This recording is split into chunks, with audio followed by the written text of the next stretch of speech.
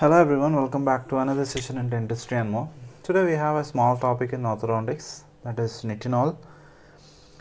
Nitinol, as we all know, it is a uh, alloy which contains nickel and titanium. So it was invented by William R. William R. Bachelor at the Naval Ordnance Laboratory. Okay, Naval Ordnance Laboratory. So this nitinol, we have nickel, we have titanium, and we have naval ordnance and laboratory. So this William uh, Bachelor was a metallurgist doing research and he found a special alloy which has a unique shape memory. That is what making this nitinol very special. Shape memory.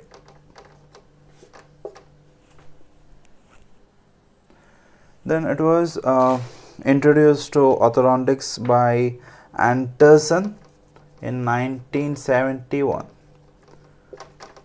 1971 so it has got properties such as high spring back high working range and low stiffness. So these arch wires on activation produces lower and more constant force on the teeth. But the problem with nitinol is it is uh, resistant to take a bend or loops or helix so these things uh, bend helix which is very essential to orthodontic wire helix loops these all can't be created on this nitinol. So moreover that it cannot be soldered it cannot be welded. So all these makes it not very a good. uh, wire in orthodontics. But still it has got some good properties. So it basically exists in two phases. That is uh, austenitic form at high temperature. We have learned austenitic form in case of stainless steel. Austenitic temperature uh, at high temperature it existing in austenitic form. That is uh, the BCC structure and at lower temperature this nitinol transforms to martensitic. So martensitic form exhibits a monoclinic or triclinic or hexagonal structure. This martensitic form is capable of being bent into various shape martensitic form. Whereas austenitic is completely different one so it has got two good properties that is shape memory and super elasticity. And other than uh, the orthodontics it is uh, very commonly used in endo files.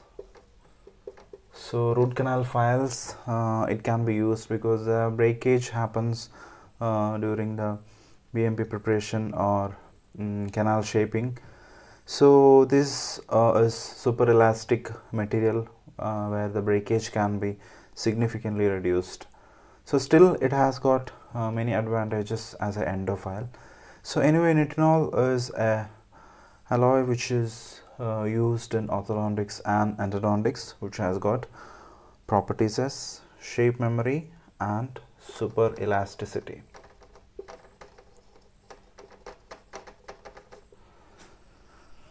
so i hope you understood a little bit about nitinol. That's all for now. So i'll come up with a new topic in orthodontics. Thank you. And lastly guys we have started channel membership in dentistry and more channel.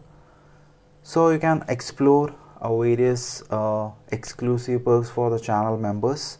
So you can explore various options by clicking on the join button adjacent to subscribe button so we have options of uh, personal whatsapp uh, help.